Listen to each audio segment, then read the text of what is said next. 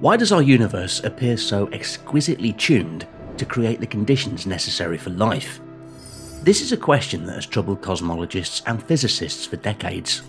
A remarkable number of things had to go right for life on Earth to work out the way it did. Our best current theories of fundamental physics are the standard model of elementary particle physics and the theory of general relativity. The standard model accounts for three of the known four fundamental forces of nature the strong, the weak, and the electromagnetic force, while general relativity accounts for the fourth gravity. The universe is built on relationships between these forces, all of which possess specific values even the slightest deviation in any of these values, and the universe as we know it could not exist, much less support life. There are certain questions that we consider to be fundamental if we're dealing with a single universe. How did it come to be that the mass of the electron, the strength of the electromagnetic force, the strength of the gravitational force, and all of the known qualities of the physical world that we have measured, how did they come to acquire the particular values that allow for atoms and molecules to form and stars to form and planets to form and on at least one of the planets called planet earth life to form. Because we have also learned that if you change those numbers some of those numbers by even a few percent then the physical processes change in a manner that prevents the formation of molecules and atoms stars planets and people. And so in a universe a single universe, that's a puzzle. And some would say, well, God set those numbers. God was back there and said, let me see, what should I do? Yeah, let me make the mass of the electron. Let me change gravity because God wanted Adam or whichever theological approach you like to focus your attention on. God wanted the world to exist. God set those values to allow the world to exist. Now, most of us scientists don't find that it could be true, but don't find that a very satisfying answer. We want an answer that comes from physical principles that we can understand and calculate with. And in a single universe, it's very hard to answer that question nobody has in a scientific manner. Theologians and even some scientists have used the fine tuning argument to suggest that such precise fine tuning in the foundational properties of the cosmos offers compelling evidence that it was designed for a purpose. However, Many scientists aren't bothered by this seeming coincidence. According to them, the appearance of the design of the cosmos is an illusion. Brian Greene explains how the mind boggling idea of a multiverse may hold the answer to the puzzle. According to Greene, if there are infinitely many universes, it shouldn't be too surprising that one ended up with the right conditions for life.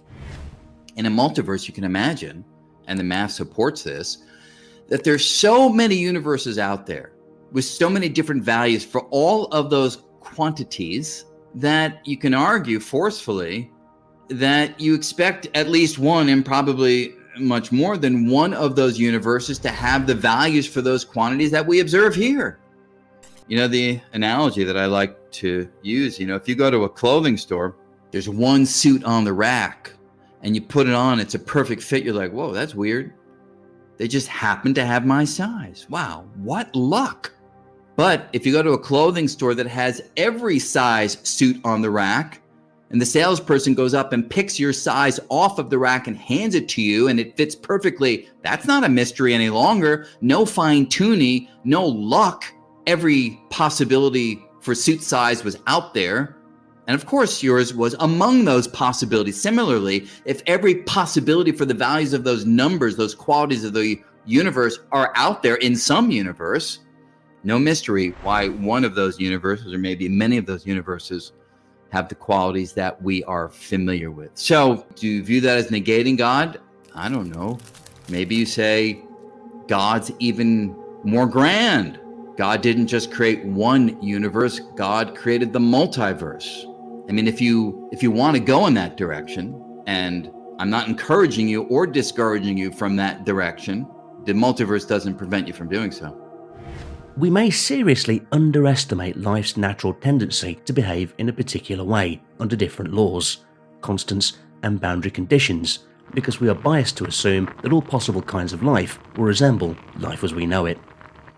Many scientists and philosophers use the anthropic reasoning to explain why we live in the kind of universe we do. If life were impossible, no living entity would be there to observe it, and thus would not be known.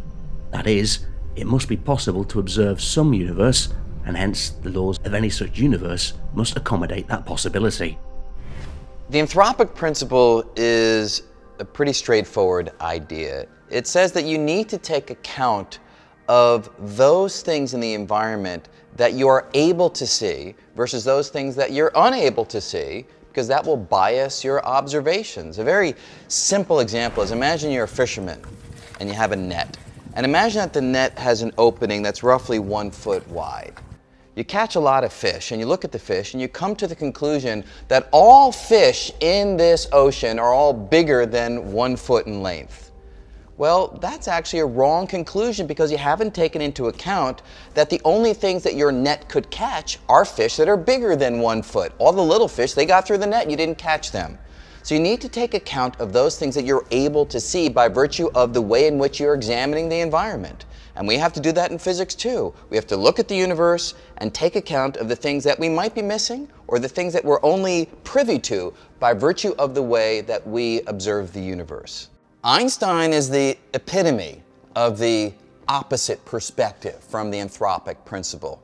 He imagined, he dreamed that there was a single unique universe and that by sufficient perseverance, by sufficiently clever observation and experiment, by sufficiently creative theorizing, we would come up with laws that explain that single unique universe.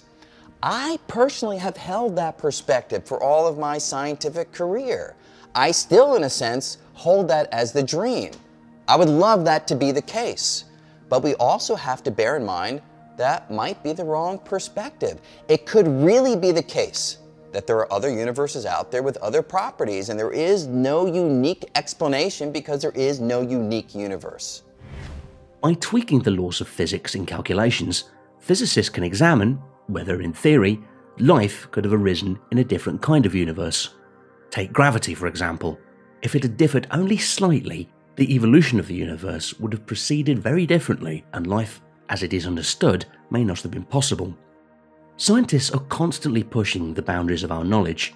However, the multiverse theories have drawn criticism from some scientists, who warn of the danger of speculation beyond what observations can tell us. They claim that the multiverse theories lack the falsifiability required to render them legitimate scientific theories.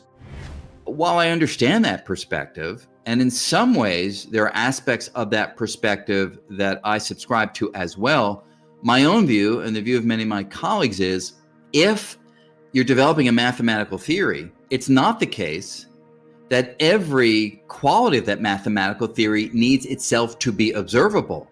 You just need enough qualities of that mathematical theory to be observable. Hopefully, you observe them, confirming the theory based upon those observations, and then you're willing to entertain those implications of the math that may not be observable, such as the possibility of other universes. So it's a very limited way of thinking. And, you know, look, some of my closest friends have that perspective, and that's fine but it's not a perspective that I hold, not a perspective that many of my colleagues hold. And moreover, let me just finish this little answer by saying it's not impossible to get evidence for a multiverse. If there are other universes out there, it's conceivable that we could interact with them, have some sort of collision with another universe. Think of many bubbles in a bubble bath. This is a cosmic bubble bath, of course, but bubble universes can hit each other. And the calculations suggest that if we were to have that kind of an encounter with another universe, there would be evidence for that in the so called microwave background radiation left over from the Big Bang in our universe. Tiny temperature differences across the night sky might give us indirect evidence that we we're hit by another universe, indirect evidence that is that there is another universe, indirect evidence that is for the multiverse. Thanks for watching. Did you like this video? Then show your support by subscribing and ringing the bell to never miss videos like this.